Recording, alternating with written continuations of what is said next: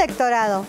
Felices sufragios y feliz 2 de junio de 2024, fecha que se anota desde ya y con letras de oro en la historia reciente, política y feminista de México, con el arribo de la primera presidenta a nuestro país, tan tristemente célebre por su rancia tradición machista. Tradición machista que seguirá a la baja y con altas expectativas del segundo sexenio de la izquierda por venir, como la ampliación de derechos a través de becas, el Sistema Nacional de Cuidados o la ILE y el aborto seguro para todas las mexicanas, por mencionar algunos. Se pronostica un shock al patriarcado en sus renglones más conservadores. Shock que se ha manifestado desde las campañas electorales con las clásicas descalificaciones sexistas que, cabe destacar, nunca se aplican a los hombres que aspiran a algún puesto. ¿Por qué será?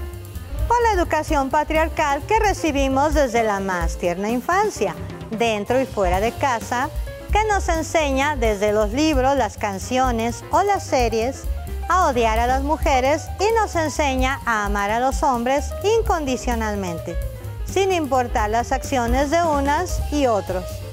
Esa violencia simbólico-machista que se aprende se puede desaprender, empezando por nombrarnos con la A y reconocer la contribución de las mujeres a la historia de la humanidad, en todos los campos en los que se ha desarrollado siempre a contracorriente. Muchas recordarán que todos los referentes de importancia eran, oh casualidad, hombres. Y las mujeres, invisibilizadas.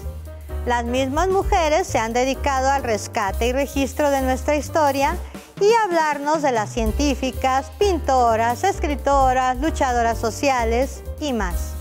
Hoy, las niñas ya se ven reflejadas en el arte, la ciencia, el deporte, etcétera, con referentes propias.